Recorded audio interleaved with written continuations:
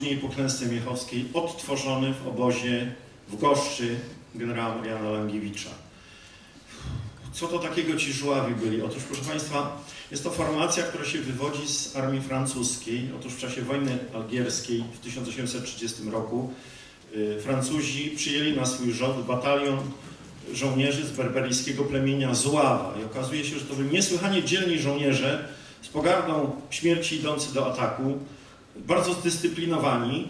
I to się na tyle Francuzom spodobało, że w stosunkowo krótkim czasie już było trzy bataliony tych żołnierzy y, umundurowanych i uzbrojonych na wzór właśnie wschodni. Y, żuławie okryli się nieśmiertelną sławą w czasie wojny krymskiej w latach 1853-56, uzbrojeni w znakomite karabiny kapitana Tywena.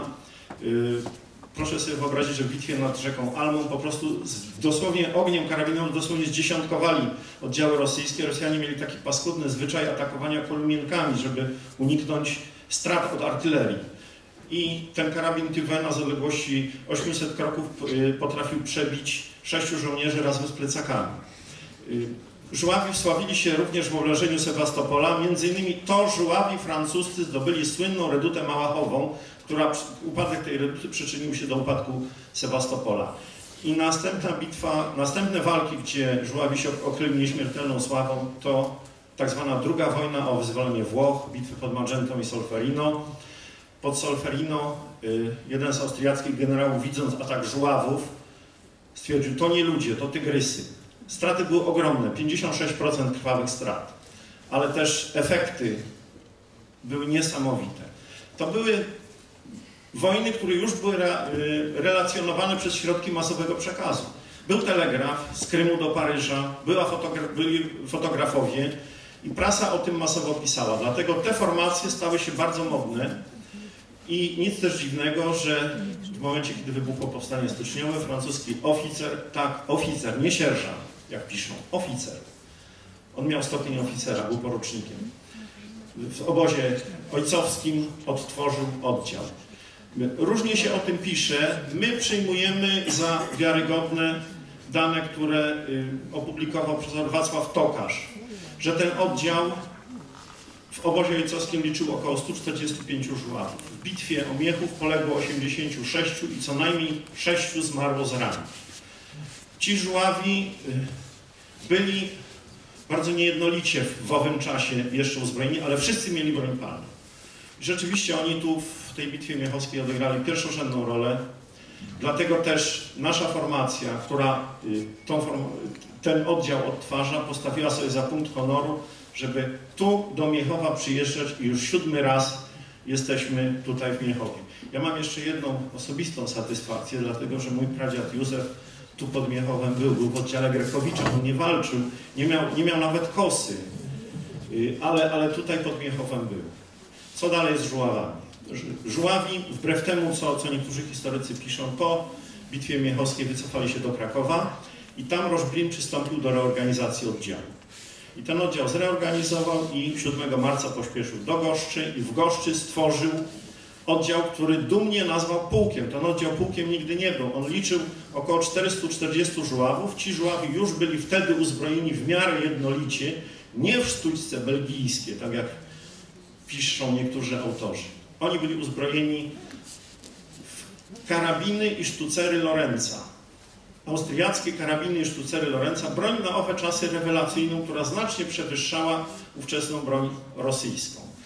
Oddział, tak jak mówię, nigdy pułkiem nie był. Składał się z dwóch y, kompanii. Pierwszą dowodził y, był oficer y, rosyjski kapitan Tytus Obern de Lacy, a drugą był oficer austriacki Wojciech Hrabia-Komorowski. I teraz taka ciekawostka, otóż proszę Państwa, Żuławi wsławili się w bitwie pod Grochowiskami, bitwie, która niesłusznie jest zapomniana przez historyków zupełnie. Mówi się dużo o bitwie pod Małogoszczem, podczas gdy bitwa pod Grochowiskami była tak naprawdę drugą co, co do ilości zaangażowanych wojsk bitwą powstania styczniowego po bitwie pod Węgrowem. W bitwie pod Grochowiskami uczestniczyło, ze strony, uczestniczyło ze strony powstańczej około 3000 powstańców, ze strony rosyjskiej około 3800 żołnierzy, więc tak naprawdę jeśli chodzi o ilość żołnierzy biorących udział w bitwie, ta bitwa pod Grochowiskami była dużo większa niż bitwa pod Małogoszczem. Y, w bitwie pod Grochowiskami poległo około, razem z Rosjanami około 600 żołnierzy. Tylu zostało pochowanych w mogiłach. Y, co jeszcze można powiedzieć o Żuławach? Otóż taka może osobista ciekawostka. Mm, Wojciech Hrabia Komorowski w bitwie pod Grochowiskami został ranny i był opatrywany w chacie gajowego Wincentego Wacha. I w tej chacie zostawił według ustnej tradycji ten oto rewolwer. Ja ten rewolwer odkupiłem 20 lat temu od prawnuka gajowego Wacha, również gajowego, również Wacha z Grochowic. To jest rewolwer y, Colt Navy, model 1851, ale egzemplarz składany w Lierz, z części sprowadzonych ze Stanów Zjednoczonych. Różnił się małym drobiazgiem, mianowicie na górnej części lufy jest napis adres Samuel Colt New York City i tutaj City jest pisane przez S i to są właśnie te belgijskie rewolwery składane w Belgii. Y, Agent Rządu Narodowego Ćwierciakiewicz podobno sprowadził tych rewolwerów 1800 do powstania. Ilu ich rzeczywiście dotarło, nie wiemy. Tradycja ustna, ale ja wierzę, że tak było. Dziękuję Państwu.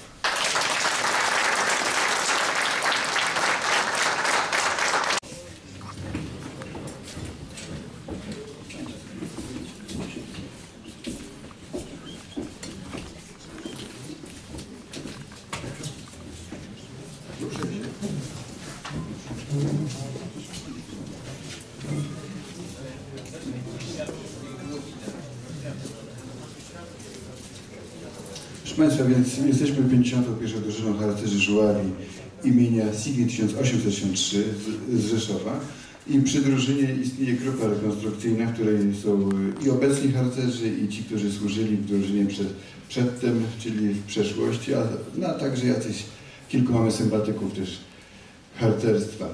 Y, Ja tutaj bym chciał pokazać może nie rozmaite właśnie typy mundurów powstańczych, gdzie y, może zacznę od strojów z okresu żałoby narodowej, kiedy właśnie padli pierwsi zabici ranni y, w 861 roku, najpierw 25 lutego w rocznicy Bitwy Miechowskiej, y, znaczy przepraszam, Grochowskiej y, w powstaniu listopadowym. Było ich pięciu, potem około 200 osób, mówią 100, 200 osób, no różnie to jest. Czyli 8 marca 1861 i wtedy została od 25 lutego została od momentu pogrzebu, który się odbył 27, czyli dwa dni potem, została ogłoszona żałoba narodowa i kobiety nie nosiły żadnych y, kolorowych ubrań, żadnej kolorowej złotej biżuterii.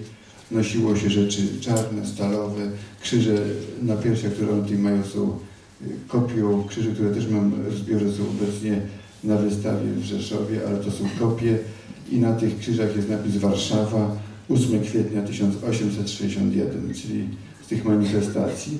Y, Pod szyją mają broszki takie typowe dla tego okresu z, z napisem Boże zbaw Polskę, z tym takim hasłem z, z tego okresu. Suknie są trochę wzorowane na kontuszach, mają tak zwane wyloty. To są te rękawy, które można spiąć. No i oczywiście ko- konfederatki, czapki stricte polskie, narodowe. Nawet taki wiersz był, że chyba Wincenty Pol y, pisał, czy któryś z tych naszych poetów, że amarantową na skronie włóż mi konfederatkę, taką jaką piast w koronie miał za podkładkę. I tutaj przechodząc dalej, to mamy mundur na, na tym młodym harcerzu, który y, ledwo co dźwiga ten, choć i tak mały karabin, ale, ale, ale wybraliśmy mu naj, najmniejszy prawie jaki był. Y, Pokaż ten karabin może, to, znaczy jest to karabin oryginalny y, z okresu powstania styczniowego systemu Lorenz, kaliber 13,9 mm.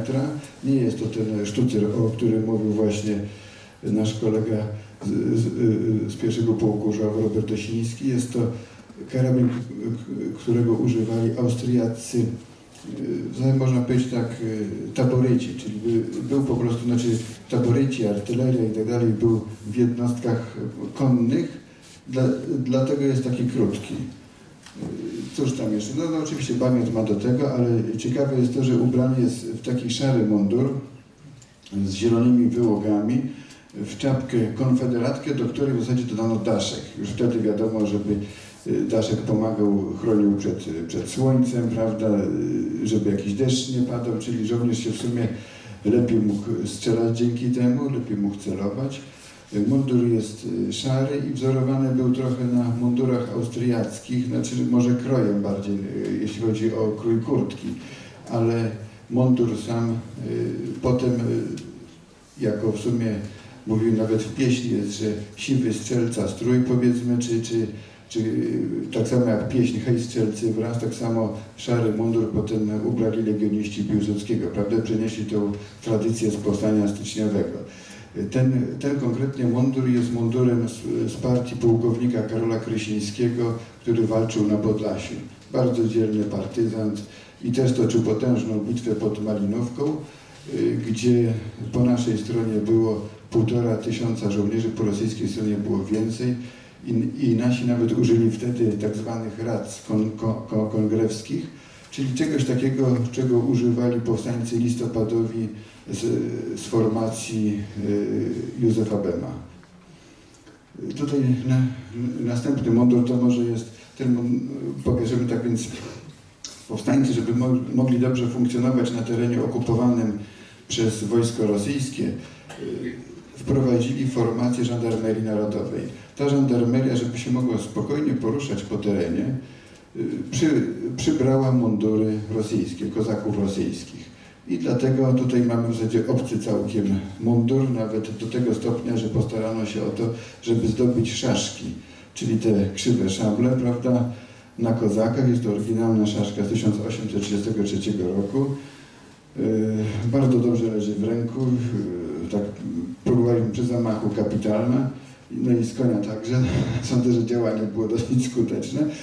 Więc oni, jak to określali, mieli konie yy, umontowane, czyli yy, w zasadzie no, rzędy końskie były kozackie, mundury kozackie, nawet sposób noszenia szabli jest kozacki, bo tak ja mam tutaj system europejski, prawda, noszony w ten sposób, czyli grzbietem do góry. Yy, no, on ma po prostu brzuźcem do góry, prawda, czyli ostrzem, na tak zwanej portupiei, czyli specjalnym zawieszeniu. Jest to w sumie chyba rosyjski wymysł, bo nie widziałem tego gdzieś indziej.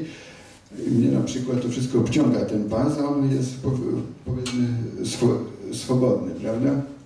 Jedyną rzeczą, którą mieli właśnie, że żandarmi narodowi z formacji yy, najpierw rotmistrza, potem majora Junoszy Nowackiego, w zasadzie Wel Kopaczyńskiego, bo nosił w zasadzie, znaczy używał dwóch nazwisk, Kopaczyński, yy, Nowacki, a herb miał Junosza, prawda? Czyli tutaj mieli na tych zamiast rosyjskich jakichś tam orzełków czy innych sy, symboli, mieli polską kokardę taką narodową. No i no w zasadzie żandarmeria potrafiła zmusić opornych wobec powstania nawet obywateli narodowych do, yy, do przestrzegania pewnych ustaleń rządu narodowego. Czyli powiedzmy, jeżeli ktoś tam sabotował w jakiś sposób tam pewne zarządzenia, był do tego zmuszony przez, przez żandarmów, a także pobierali, yy, pobierali składki, na cele narodowe dostarczali rekrutów, do oddziałów powstańczych, między innymi na przykład współpracował Jonasza Kopaczyński y, z, z majorem Kalitą Rębajłą, który właśnie w lasach cisowskich miał duże zgrupowania powstańcze. Y, No i dzięki w zasadzie Żandarmerii Narodowej przetrwał. Jeszcze tak y, dla ciekawości powiem, że y, też osobnym oddziałem y, Żandarmerii Narodowej dowodził rotmistrz Uragan, Y, To był Rosjanin, Mitrofan Podhaluzji naprawdę się nazywał. Y, Służył po polskiej stronie bardzo wiernie i został stra stracony jako ostatni żołnierz powstania styczniowego w Cytadeli y, warszawskiej w 1866 roku, kiedy już w zasadzie nie wykonywano wyroków śmierci na powstańcach. I ten właśnie Mitrofan Pod, Podhaluzin dobrał sobie autentycznych kozaków też do, swojego szwadronu i awansowany przez Junoszę na porucznika, y, też równolegle pełnił służbę właśnie w Żandarmerii Narodowej tutaj w tych powiatach. I tutaj może mamy taki zwykły, y, st- standardowy mundur powstańczy z takimi sznurami, z szanurowaniem, które w zasadzie było przez Polaków przyjęte z Węgier. Wszyscy huzarze i tak dalej, tam w XVIII wieku, potem w XIX mieli takie szamerowania na powstańców. Nie stać było na srebrne sznury, zostawiono takie zwykłe powiedzmy. Nie? Yy, Coś jeszcze można powiedzieć. Tutaj ma czapkę batorówkę.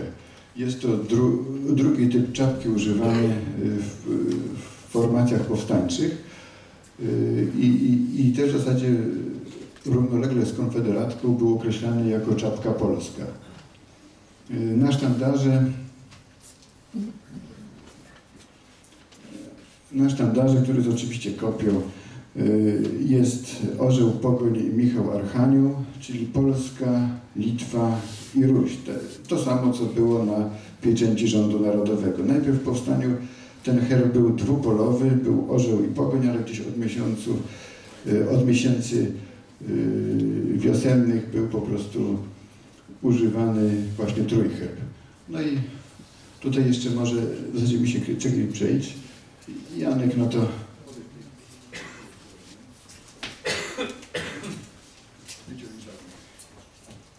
Tutaj właśnie jest ten, tylko niestety replika, bo oryginał mam na wystawie w Muzeum w Rzeszowie, a to jest właśnie replika tego słynnego karabinu, o którym mówił Robert Osiński, Lorenz, kaliber 13,9, jest to sztucer. I rzeczywiście przebijalność była bardzo dobra, celność czegoś takiego po odpowiednim e, przesianiu prochu i tak dalej. Nawet mam kolegę, który strzela na, mówi, że 225 metrów na 10 przestrzelin wszystkie są w kole o średnicy 15 centymetrów. Do tego używano tego typu bagnetów bardzo długich, dlatego że karabin sam jest krótki.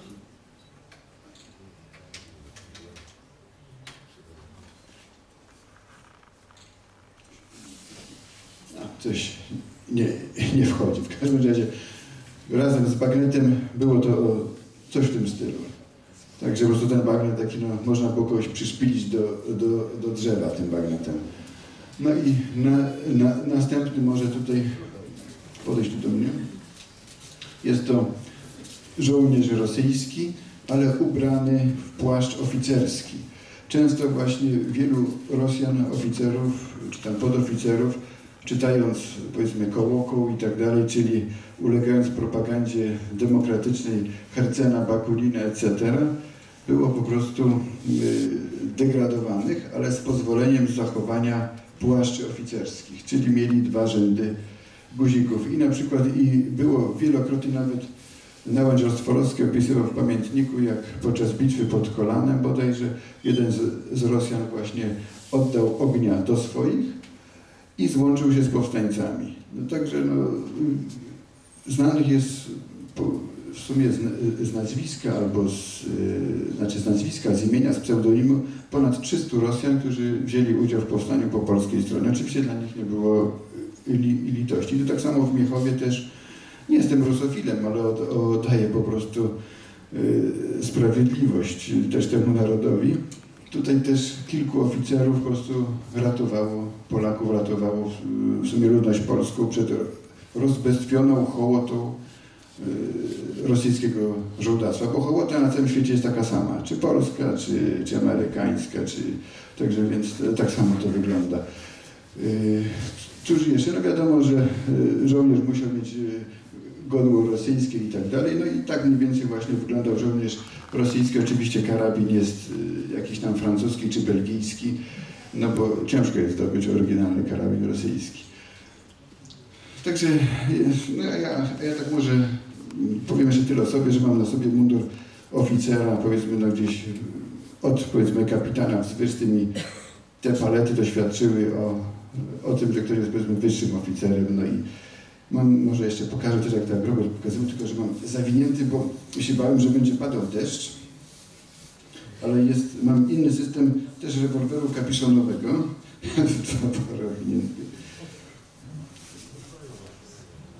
Ale do, dokładnie się przeglądałem na zdjęciu i właśnie hrabia Emanuel Moszyński, który po, tutaj pod Miechowem miał taki rewolwer. Jest to rewolwer systemu Adamsa, pierwszy model. Był bardzo w sumie dosyć ciekawy, bo można go po szybko naładować. Wyciągało się bęben w ten sposób, wysuwając ten sztyft, ładowało się poszczególne komory bębna, zakładało tutaj takie kapsułki, które się nazywa kapiszonami, było to, y, znaczy jest, jest tutaj y, no, taka y, masa plastyczna w sumie inicjująca, no i oczywiście jak on strzelał, no to przesuwał bęben i, no i w sumie nie był może za bardzo celny, dlatego że nie można było powiedzmy odwieść y, tutaj kurkę. W następnych egzemplarzach można, znaczy dorobiono taki język i przerobiono trochę mechanizm, że można było strzelać po prostu w ten sposób, że najpierw odwodzono kurek i oddawano bardzo precyzyjny strzał. Także to też przedmiot z epoki.